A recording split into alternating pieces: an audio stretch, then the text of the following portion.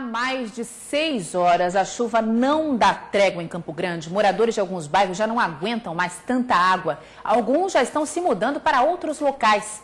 Hoje de manhã, nossos repórteres percorrem alguns bairros da cidade que são alagados sempre que chove. O lixo entope as bocas de lobo e a água entra nas casas. Engenheiros da prefeitura também foram ver de perto os estragos em busca de uma solução para o problema.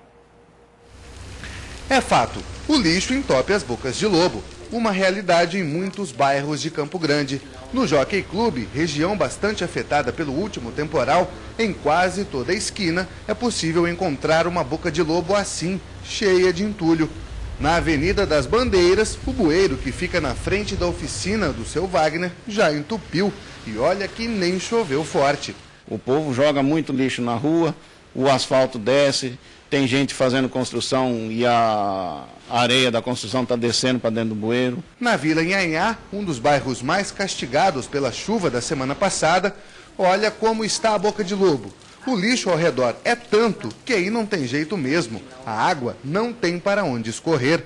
A chuva ainda está fraca, mas para quem já perdeu quase tudo, o medo de que ela aumente e acabe com o que sobrou é permanente. Aqui na casa da Sônia, a água subiu 70 centímetros, sobrou pouca coisa. Sobrou pouca coisa. O que sobrou a gente está tentando lavar, fazer alguma coisa. E o que o que está dentro da casa está tudo ensacado, preparado para mudança já. E com uma chuva dessa aí fora, já começa já. a erguer móvel, levantar as coisas? Erguer o que sobrou, né? Sobrou pouco, mas o pouco que sobrou a gente está tentando salvar. Ainda tá, tem vida, tem saúde, tá bom. Carlos também perdeu praticamente tudo. Acordou de madrugada com o barulho da chuva e não conseguiu dormir de novo.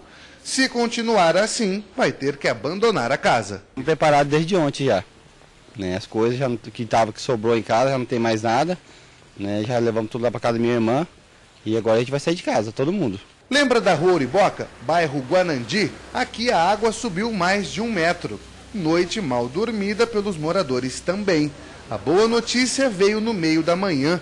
Engenheiros da prefeitura estiveram no local analisando a situação. Para a gente já dar uma esperança, né?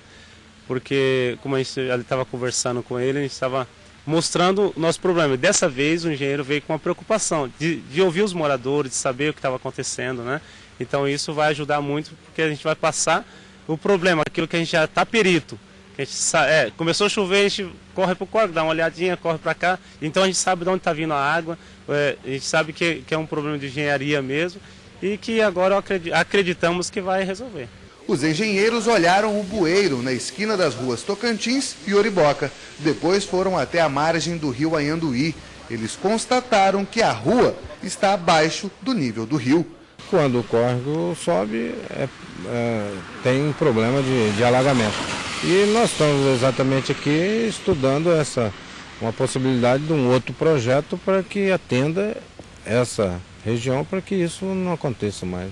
Além do Guanandi, os engenheiros também estiveram no bairro Bom Jesus, atrás de onde está sendo construído um shopping. Lá já existe um, um projeto que o prefeito já deu ordem de serviço, uma drenagem nova, que vai captar toda a água ali da rua Santa Adélia, Cubatão e Via Moreno. Então esse projeto só estamos aguardando que o tempo melhore para que seja iniciado. A chuva não foi embora, ela permanece. A previsão indica que vem mais chuva durante a tarde de hoje.